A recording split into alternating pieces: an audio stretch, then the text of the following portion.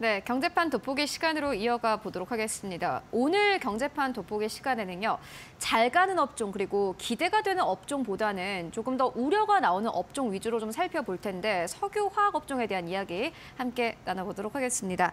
오늘은 훈훈한 주식의 김재훈 대표 모셨습니다. 안녕하십니까? 안녕하세요. 네, 먼저 화학 업종에 대한 이야기를 오늘 하고 갈 텐데 너무 안 좋잖아요. 네네. 뭐 재고도 많이 쌓이고 있고 글로벌 경기 침체에 대한 우려가 나오고 있기 때문에 일단 수요가 급감할 것이다라는 이야기 나오고 있습니다. 어떻게 보시나요? 네, 화학 업종 안 좋은 거 맞고요. 네. 화학업종에 아무도 관심이 없습니다. 그리고 화학 업종을 말씀드리기 전에 말씀 주신 대로 되게 재미난 통계가 있는데 최근 10년치 데이터를 보면 어, 전년도에 소위 말하는 한 주가 벌어들이는 순위, EPS 하락률이 낮은 업종의 상위에 있는 종목들이 오히려 연말에 수익률로 봤을 때는 굉장히 좋은 성과를 퍼포먼스를 냈다는 거고요. 그리고 반대로 연초에 굉장히 좋을 것이라고 예상했던 업종들의 연말 수익률이 굉장히 안 좋았다는 거. 그게 10년치 평균 데이터로 봤을 때 우린 철저하게 한번 역발상의 측면으로 한번 살펴보자고 이 업종을 가져왔습니다. 그리고 두 번째는 화학업종 자체가 valuation이 지금 굉장히 어, 부담이 없는 그죠. 수준이죠. 워낙 네. 주가가 많이 빠져서 그래서 그런 측면이 있고 시장에서 우려하는 건 철저하게 수요와 공급입니다. 그래서 어, 수요 대비 공급이 2022년과 2021년에 엄청나게 늘었고요. 중국 같은 경우도 에틸렌 생산량을 뭐 평상시 그러니까 그 평균 평균 과거 3년치 대비해서 50에서 한 70%까지 공급을 엄청나게 늘려놨거든요. 그래서 굉장히 공급에 대한 부담이 있었고 말씀 주신 대로 글로벌 경기 부진으로 수요가 급감했습니다. 우리가 가장 많이 쓰이는 플라스틱 관련된 소비가 가장 큰 데가 중국인데 중국이 40% 이상 플라스틱 소비를 차지하는데 거기서 중국에서 소비가 거의 30% 이상 급감하고 가동은 그러니까 그 공급은 70% 이상 늘어났기 때문에 그 갭인 40% 이상의 어, 초과 공급 사. 상황이 나온 상황이죠. 그래서 굉장히 재고가 쌓이는 거네요. 재고가 네. 쌓이고 부담이 많이 됐습니다. 그리고 이제 그 석유화학 업체 입장에서는 원재료로 쓰이는 이 에틸렌의 가격도 적정 수준까지 올라야지 마진을 확보하는데 음. 에틸렌의 가격이 소위 말하는 계속 판가가 떨어짐으로써 손익분기점에도 미달하는 수준을 보여줬거든요. 그러니까 쉽게 말해서 에틸렌의 손익분기점 한 300불 정도 수준이라고 보면 됩니다. 음. 간단한데 지금 여전히 최근에 원래 산업통상자원부의 원자재 가격 정보에 가시면 여기 보실 수 있습니다. 근데 이게 지금 올라왔는 수준인데도 200달러 초반이에요. 그러니까 아직도 어, 굉장히 지금 그 소위 말하는 갭 스프레드 갭 차이가 많이 나, 나는 상황이고요. 최근에는 석유화학 공장 한 번 가동 중단되면 재가동할 때까지 최소한 15일 이상 걸리는데 어, 그 화물 연대 파업 때문에 연평균 1,200억 넘게 생산 피해까지 예상이 되고 있거든요. 그래서 이 부분까지도 좀 부정적으로 미치고 있고 그래서 손익 분기점이 어, 예상하는 거는 올해 하반기는 회복이 될 것이다 에틸렌 관련돼서. 근데 이제 석유화학 업종은 조금 재, 재미난 거는 이제 그냥 기초 석유화학 제품만 생산하는 게 아니라 계속 말씀드리지만 하이브리드 석유 아, 하이브리드 화학 회사가 되고 있거든요.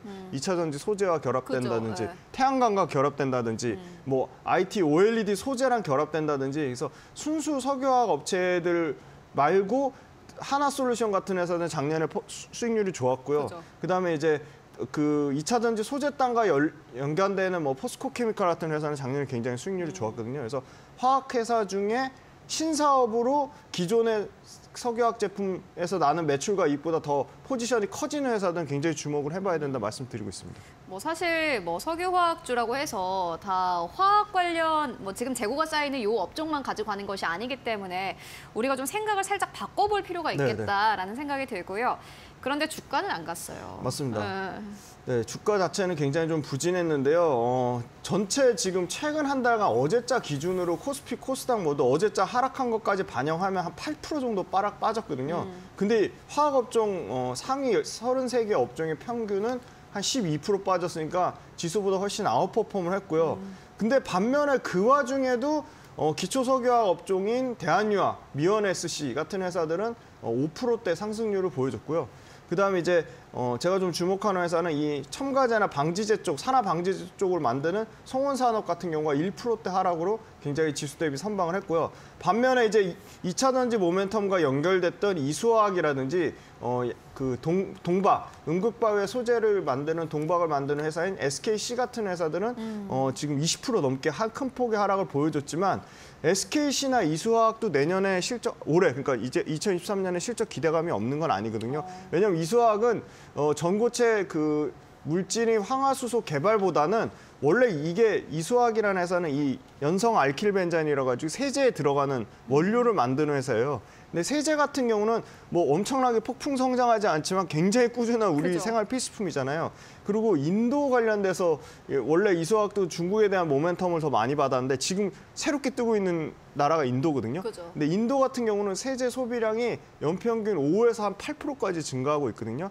그러면 이 부분에 대해서 수, 수혜를 받을 거라고 보고 있고 SKC도 어, SKC도 기초 석유학 제품을 납품하긴 하지만 기초 석유학 제품 중에 PO라고 폴리올레핀이라고 뭐 태양광이나 이런 특수 소재 쪽, 그러니까 태양광이나 전자제품 중에 뭐 하이브리드 비싼 가전 제품에 들어가는 소재를 만드는 회사거든요. 그래서 이런 회사들도 같은 기초 석유학 제품 중에 조금 고부 가치를 생산하는 기업이니까 조금 더 차별화될 수 있다고 보겠습니다. 음, 일단 뭐 주가는 많이 내렸지만 실적 자체는 나쁘지 않고 보니까는 최근에 글로벌 아이비들이 내놓는 리포트를 보니까 인도 쪽을 굉장히 맞습니다. 네, 주목을 하더라고요. 네. 어떻게 보면 중국보다 더 큰 시장이니까 일단은 그 부분을 좀 체크를 해보면 좋을 것 같고 그렇다면 실적이 어떨지가 사실 가장 궁금한데 뭐 아무리 떨어지고 아무리 올랐다고 하더라도 실적 안 좋으면은 맞습니다. 시장 자체가 안 좋기 때문에 올라갈 수가 없거든요. 네. 음. 제일 중요한 말씀 해주셨는데요.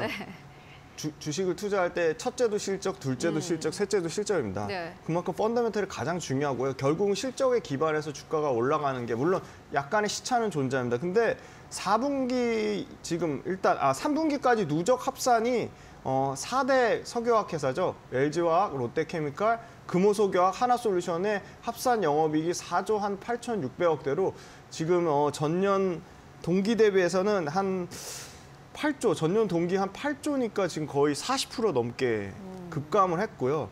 그다음에 이제 그 실제 작년 석유화학 업체들이 세계 경기 회복세, 그러니까 작년은 좋았습니다. 작년에 좋았는데 이 부분이 어, 올해부터 2022년 한 6월 달부터 2분기 실적부터 직격탄을 맞았고요.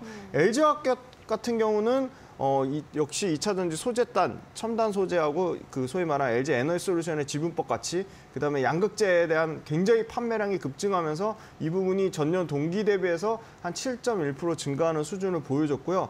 어, 올해는 2023년에는 석유화학 사업부가 한 9천억 정도 이익을 낸다 치면 전지 사업부의 그 지분 가치랑 그다음에 LG 에너지 솔루션의 그 양극재 첨단 전지 소재 사업부의 어, 영업이익 합산이 한 3조를 넘을 것으로 예상돼서 올해 처음으로 석유화학을 완전 뛰어넘는 이제 전지 소재 회사로 탈바꿈할 예정이고요. 그래서 LG 석 LG화학은 이제 어, 기초 석유화학 회사보다는 이제 2차 전지 소재 단으로 보는 게 valuation을 주는 게 맞는 것 같고 롯데케미칼 같은 경우는 어, 드디어 올해 대규모 흑자 전환을 합니다. 그러니까 4분기까지 올해 그러니까 2022년 작년 4분기까지는 한 800억대 이상의 적자를 예상했는데 내년 가, 내년 같은 경우는 한 1,500억 이상의 흑자 전환을 예상을 하고 있고 금호 석유화학도 올해 어, 4분기는 이제 전년 동기 대비해서 한 44% 이상 영업이익 어, 그 급감을 예상하고 있지만 내년에는 올해보다 훨씬 더 어, 예, 좋을 것으로 실적이 turnaround 될 것으로 예상을 하고 있습니다.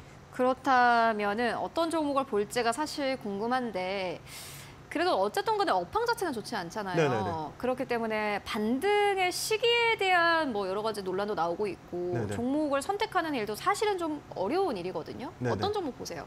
맞습니다. 뭐 주가가 꼭 싸, 하여튼 주가가 싼 것만큼 좋은 모멘텀은 없긴 한데 맞아요, 네. 근데 이게 계속 쌀 거냐 앞으로 valuation을 제대로 부여받을 거냐 그게 중요한 거거든요. 그죠. 그래서 기초 석유화학 업종 중에는 잘 몰라요. 그러니까 옛날 구 대림 석유화학인데요. DL로 이름 바뀌었거든요. 네. 건설사도 DL E&C로 바뀐 것처럼 이 DL 같은 경우가 어 뭐 capa가 엄청나게 늘어난기보다는 크레이톤이라는 회사를 인수했거든요. 근데 크레이톤이 진짜 재미난 회사가 소나무 펄프의 원료를 써서 석유화학 제품을 만드는 회사예요. 뭐 화장품에도 들어가고 향수에도 들어가고 뭐 바이오 디젤 요새 뜨는 친환경 원료 그다음에 어 소위 말하는 뭐 페인트 그다음에 그 접착제나 뭐 윤활유 이런 어. 관련된 다양한 뭐 꼭 이런 건자재 쪽이 아닌 다양한 기초 생활 소재와 관련된 그 제품의 원재료 단을 만드는 회사인데요. 당연히 소나무 펄프 부산물로 쓰니까 소위 말하는 에탄 cracker ECC나 나프타 cracker NCC처럼 유가에 반영돼서 뭐 원가가 들쑥날쑥하지도 않고요. 오히려 ECC나 NCC가 원가를 올려서 어, 기초석약 제품 가격을 올리면 이 회사는 소나무 펄프 부산물이기 때문에 원가는 그대로인데 그냥 제품 가격만 올리는 그런 효과거든요. 다른 경쟁사들이 어, ECC나 NCC로 가격 올릴 때 이 회사도 똑같이 가격을 올리는데 원재료가 원재료인 소나무 펄프가 워낙 싸니까 그만큼 판가 원재료와 판매 가격의 차이는 훨씬 더 큰 거거든요. 마진이 더 많이 마진 남는 훨씬 많이 거, 남는 네. 맞습니다. 그래서 마진이 굉장히 많이 남는 구조라서 이 회사가 그 소위 말하는 크레이톤의 본격적인 실적이 반영되는 게 올해 그러니까 작년 4분기거든요. 2022년 4분기부터거든요. 제대로 실적이 아직 정확하게 100%다 반영이 안 됐거든요. 그래서 그 부분이 상당히 내년에 실적이 좋아질 걸 보고 크레이톤이 얼마나 큰 회사냐면 한 매출 한 2조 영업이익 한 5천억까지 나는 회사입니다. 오. 네, 엄청난 큰 회사고요. 어, 소위 말하는 이런 아까 말씀드린 뭐 윤활유나 뭐 화장품이나 이런 그 페인트나 뭐 이런 데 들어가는 소재를 만드는 데 들어가는 소나무 펄프 부산물 원료라는 polybutene이라는 거를 연 그 연, 그러니까 매- 전체 매출단에서 20% 미만에서 지금 이 크레이톤 인수하면서 매출이 이게 51%까지 올라가고요. 말씀 주신 대로 굉장히 마진이 좋다. 다른 기초 석유화학 제품 마진이 뭐 6%에서 8% 정도 나온다면 이 회사는 마진율만 15% 이상 나오는 회사입니다. 어. 그러니까 엄청나게 마진이 좋은 회사고 그리고 이 회사도 당연히 증설을 합니다. 연간 한 5만 톤 크레이톤 인수하면서 연간 5만 톤에서 지금 한 10만 톤까지 지금 확대하려고 하고 있고요. 사우디에도 지금 이 국내 PB 이런 PB polybutene 관련된 예, 또 증설에 대한 모멘텀도 가지고 있고 유가가 빠지면 빠질수록 이런 회사는 special 그 화학 제품을 만드는 회사니까 계속 지금 좋은 상황이고요. 크레이톤 비중이 아마 이제 80%까지 전체 이 DL 사업부에서 80%까지 확대될 거라고 보고 있습니다.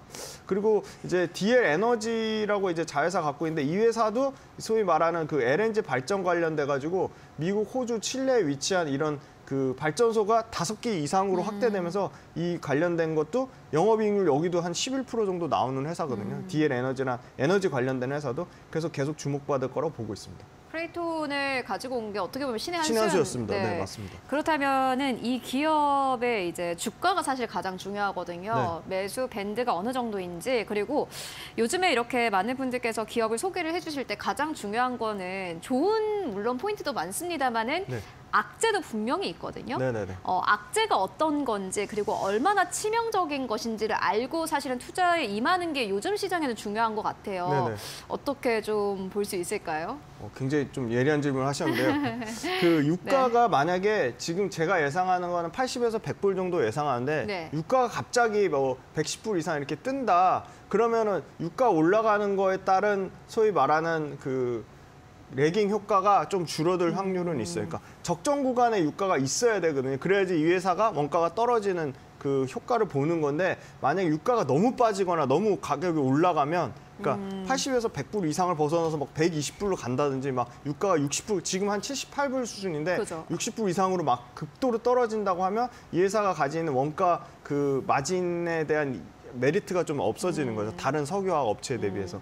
그리고 두 번째는 어 지금 그 핵심 원재료가 이 석탄에서 나온 CTO 예. 그 콜타르라고 하는 이거에서 75% 이상을 장기로 계약했는데 이 가격 또한 만약에 너무 가격이 오른다거나 하면 가격줄 재조정해서 계약을 다시 맺어야 그죠. 되는 부분도 예. 있기 때문에 이것도 역시 석유학 못 그러니까 소위 말하는 이 석유 유가 못지않게 석탄의 가격도 좀 중요하다고 말씀드리겠습니다. 그렇다면 가격 밴드는 어떻게 보세요? 네, 가격은 지금 뭐 사실 그때 롯데케미칼하고 효성화 아까 상위 종목에 대한유와 뭐 롯데케미칼이 있었는데 그죠. 그런 회사들 잠깐 올라갈 때 잠, 이, 이 회사도 잠깐 반짝했다가 지금은 아주 옆으로 계속 기고 있는 구간에 저 차트 보시면 아시겠지만 그래서 지금 저는 지금 가격대는 부담 없는 가격대라고 보고 있어요. 그래서 한 5만 3천 원에서 5만 9천 원까지는 분할로 매수하다 보고 있고요. 네. 여기서 한 2, 3%더 올라도 매수 가능하다고 보고 있고요.